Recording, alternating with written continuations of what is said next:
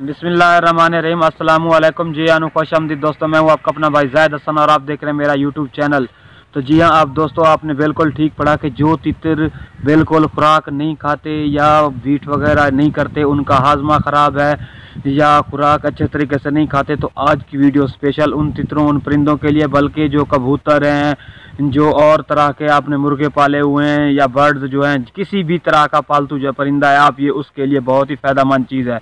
तो भाई, वीडियो शुरू करने से पहले आप तमाम दोस्तों, भाइयों से रिक्वेस्ट है कि जिन भाइयों ने अभी तक हमारे चैनल को सब्सक्राइब नहीं किया तो फ़र्स्ट ऑफ़ ऑल हमारे चैनल को सब्सक्राइब कर लें और साथ में बेल आइकन को प्रेस कर दें ताकि इस तरह की जो भी मालूमती वीडियो आए, आप तक पहुँचती रहे। दोस्तों, आज मैं नुस्खा लेके आया हूँ कि जो परिंदे बिल्कुल खुराक नहीं खाते या कम खाते हैं बीट वगैरह नहीं करते, उनका हाजमा ठीक नहीं है तो ऐसे मैं खुराक लेके आया हूँ कि लक्कड़ पत्थर, हर चीज़ हजम। ठीक है, जो आप अपने परिंदे को खुराक देंगे, मिनटों में हजम हो जाएगी, बहुत काम का नुस्खा। तो दोस्तों टाइम ज़ाय किए बगैर हम अपने नुस्खे की तरफ़ चलते हैं। ठीक है, सबसे पहले ना आपने ले लेनी है दो अदद काली मिर्च, ठीक है, और उसके साथ साथ एक चुटकी अजवाइन की, देसी अजवाइन ठीक है। आप इनको ना किसी बर्तन में कूट के ना पाउडर बना लें, ठीक है, पीस के, ठीक है। इसके साथ साथ जो देसी लहसुन होती है आप उसके भी दो फलियाँ उसमें डाल के ना उसको अच्छे तरीके से रगड़ के मिक्स कर लें। अगर वो नहीं है तो आप फार्मी एक इस्तेमाल कर सकते हैं, ठीक है? और इसके साथ साथ आपने ये जो पुदीना होता है ना, हमारे यहाँ लोकल मिलता है तो आपने क्या करना है, पाँच छः पत्ते उसके भी उसमें ऐड करके ना इसको अच्छे तरीके से आपने उसमें कूट के यानी कि मिक्स कर लेना है, ताकि कोई इसमें अच्छे तरीके से मिक्स हो जाए और कोई चीज़ रह ना जाए, ठीक है?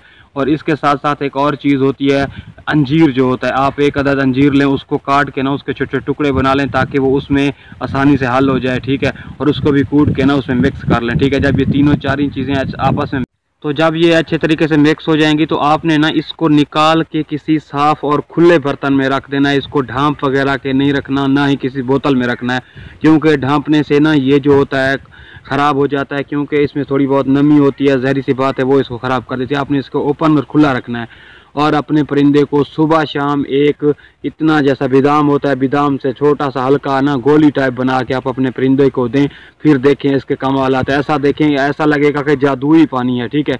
जादुई नुस्खा है, ठीक है? आप अपने परिंदे को दें इनशाला इनशाला ये वाला जो नुस्खा है ना, आपको घंटों में रिज़ल्ट देगा। मैं दिनों की बात नहीं कर रहा, महीनों की बात नहीं कर रहा, घंटों की बात कर रहा हूँ, ठीक है?